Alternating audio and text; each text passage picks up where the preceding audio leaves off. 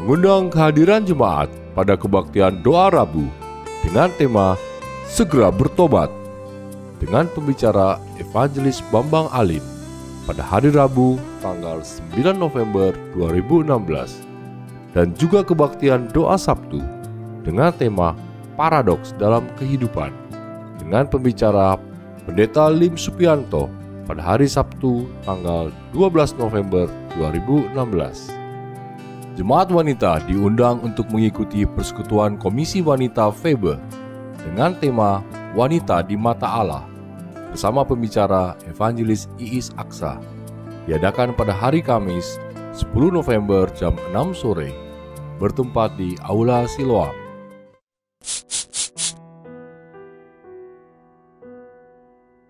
Riuh rendah kehidupan yang kita jalani menghadirkan berbagai kisah, baik suka maupun duka.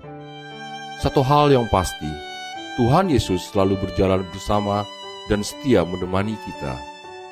Memiliki iman dan percaya bahwa segala sesuatu akan berjalan dengan baik dalam penyertaannya adalah satu-satunya jalan yang dapat kita lakukan sebagai hambanya.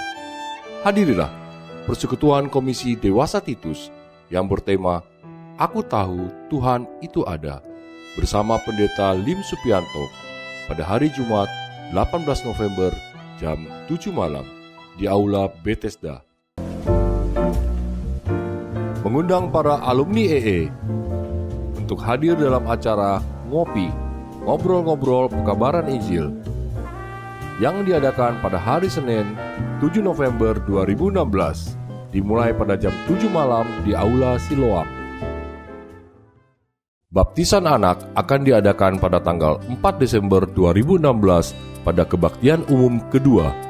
Bagi para orang tua yang ingin mendaftarkan putra-putrinya, dapat menghubungi bagian tata usaha gereja pada hari dan jam kerja dengan membawa persyaratan sebagai berikut.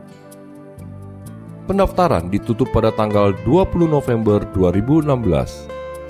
Hadirilah ibadah kebaktian umum minggu depan dengan tema Pemberdayaan Rohani dengan pembicara Pendeta Syakosin pada hari Minggu 13 November 2016.